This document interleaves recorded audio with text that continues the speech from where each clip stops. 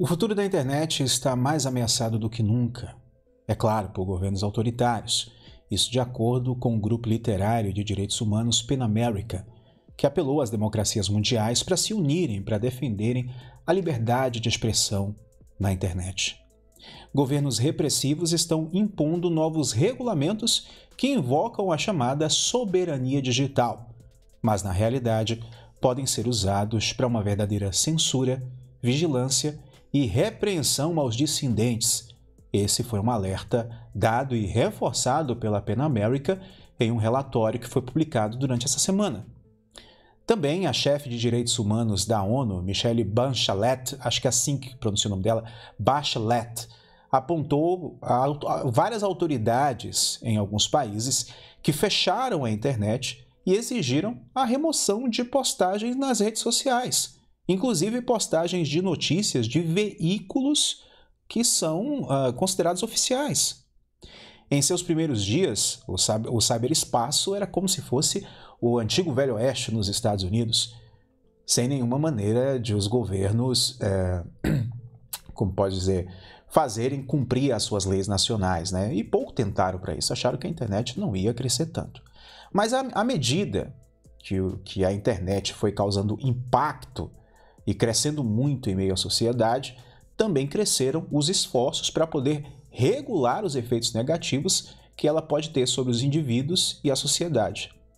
Muitos governos democráticos em todo o mundo estão lutando com leis para mitigar os riscos de privacidade, desinformação e discurso de ódio, muitas vezes argumentando que as leis nacionais podem também e devem ser aplicadas de maneira online isso ficou conhecido como soberania digital. Mas os autoritários, segundo o alerta da PEN América, estão usando retórica semelhante para consolidar o seu próprio poder. Os campeões mais consistentes, mais antigos e mais entusiastas da soberania digital, é claro, foram os estados autoritários, segundo esse relatório. Quando eles dizem soberania digital, eles têm uma ideia muito específica do que isso significa. E não é consistente com os padrões internacionais de direitos humanos. A prática se estende além de estados autoritários tradicionais, como a Rússia ou a China, cujo grande firewall é um exemplo antigo de como os governos podem tentar controlar os seus cidadãos de maneira online. Países menores, como a Bielorrússia, estão adotando abordagens uhum. semelhantes cada vez mais eficientes. E estados democráticos, quer dizer, que se dizem democráticos, como a Índia e a Nigéria, estão usando o argumento da soberania digital para poder mascarar as repressões à liberdade de expressão em seus países. Isso, inclusive, foi dito no relatório da PEN América. Veja que interessante, no dia 4 de junho de 2021, o governo nigeriano proibiu o Twitter em todo o país depois que a plataforma removeu uma postagem do seu presidente, pelo que considerava uma violação de suas regras.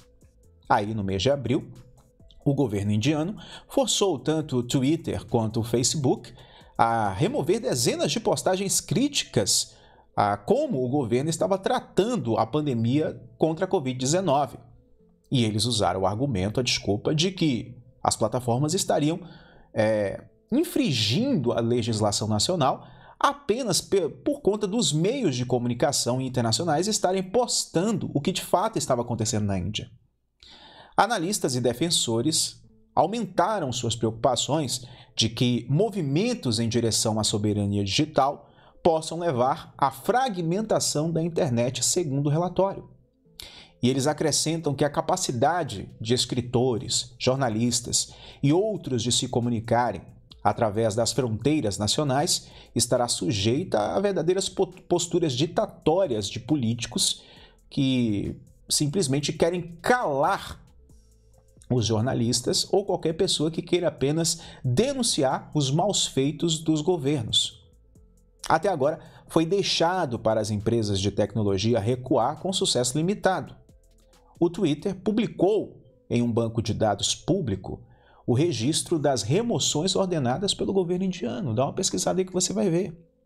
Depois de um incidente anterior no mês de fevereiro, ele disse que se recusou a tomar medidas em alguns dos tweets é, pertencentes a políticos, jornalistas e ativistas, porque eles não acreditam que as ações uh, ferissem a Constituição da Índia. Aí, no mês de maio, a polícia indiana visitou o escritório do, é, da empresa Twitter em Nova Delhi, depois que a plataforma de mídia social rotulou vários tweets de membros do partido do governo como mídia manipulada. Os governos democráticos devem fazer mais para defender a liberdade de expressão online, segundo o relatório da PEN América. Eles acrescentam que estão pedindo um compromisso renovado e mais vigoroso com o multilater, multilateralismo digital democrático. Uma coalizão de democracias deve desenvolver novos padrões digitais para o futuro da internet. Mas a pergunta é: isso vai acontecer?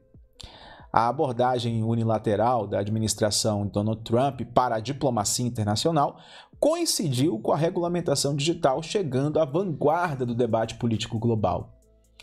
Ele disse que uh, nós perdemos muito tempo crítico durante os anos da administração Trump. Uh, isso foi dito também por um ex-diplomata dos Estados Unidos que trabalhou em questões de liberdade na internet no Departamento de Estado americano, que, que agora trabalha para a Global Network, que é uma ONG que visa encorajar democracias a definir padrões globais para salvaguardar os direitos digitais. O ponto crucial é que as democracias não estão ganhando a batalha de ideias quando se trata de como lidar com os riscos críticos uh, que o nosso mundo é, está é, sendo colocado né, cada vez que ficamos muito mais conectados do que antes. E o governo Biden afirma que está restaurando a promoção dos direitos humanos e da democracia no centro da política externa dos Estados Unidos e, no início desse mês, pediu à Nigéria que revogue sua proibição do Twitter. O ex-presidente Donald Trump, olha que engraçado, transmitiu o sentimento oposto em uma declaração que foi postada no dia 8 de junho. Ele disse que mais países deveriam proibir tanto o Twitter quanto o Facebook. E ele completou dizendo que talvez ele tivesse que ter feito isso enquanto ele era presidente e que hoje se arrepende de não ter, ter feito isso.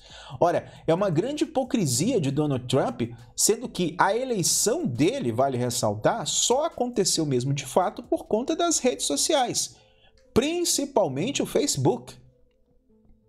Engraçado, não é? Quando as redes sociais não colaboram para a narrativa de, dos políticos, eles querem intervir e dizem que não presta mais. Dizem que é controlada pela política oposta, né, pela oposição. O Departamento de Estado de Joe Biden também afirma que promove a liberdade da internet por meio de canais bilaterais e multilaterais. Vamos ver até quanto tempo isso vai durar, porque eu não boto minha mão no fogo por Biden de jeito nenhum. Na reunião do G7 no Reino Unido na semana, na semana anterior, membros e aliados assinaram uma declaração conjunta afirmando que a liberdade de expressão, tanto online quanto offline, como uma liberdade que salvaguarda a democracia e ajuda as pessoas a viverem livres do medo da opressão, não pode ser encerrada. A Índia foi um dos maiores signatários da Declaração de Sociedades Abertas, mas só depois de buscar alguns ajustes no idioma. Mas para alguns observadores, essas etapas não são suficientemente boas e com certeza não vai muito longe esse sentimento de vamos defender a liberdade. O governo Biden realmente precisa intensificar e articular uma visão mais ampla da liberdade na internet para orientar o Congresso americano e também para demonstrar aos outros parceiros ao redor do mundo o que eles acham, né, como é a maneira certa de lidar com os riscos que a internet traz, mas sem privar também as pessoas do lado positivo da internet. No entanto, é só uma questão de tempo até que a internet seja completamente controlada por um Estado autoritário. Faz tempo que eu estou avisando isso aqui. E muita, pessoa, muita gente encara somente como teoria da conspiração e as notícias estão acontecendo. Tudo isso que eu falei aqui, basta você pesquisar um Google aí, basta você fazer um Google que você vai encontrar tudo. Ah, mas quando você fala alguma coisa aqui, Júnior, eu pesquiso e não encontro. Pesquisa em inglês, vai no Google Tradutor, pesquisa em inglês. Joga no Google, traduz, pesquisa tudo isso aqui que eu estou falando para você. Os principais meios de comunicação do planeta estão noticiando esse cerco se fechando em relação à internet. Vai começar em países autoritários e logo logo os que se dizem democráticos vão adotar a mesma medida. Você vê Donald Trump foi eleito pela internet e disse que se arrependeu de não ter fechado o Twitter e o Facebook depois que ele perdeu a eleição. Interessante, não é? Estamos caminhando aí, meus amigos, para uma verdadeira gaiola global. Quem tem ouvidos que ouça.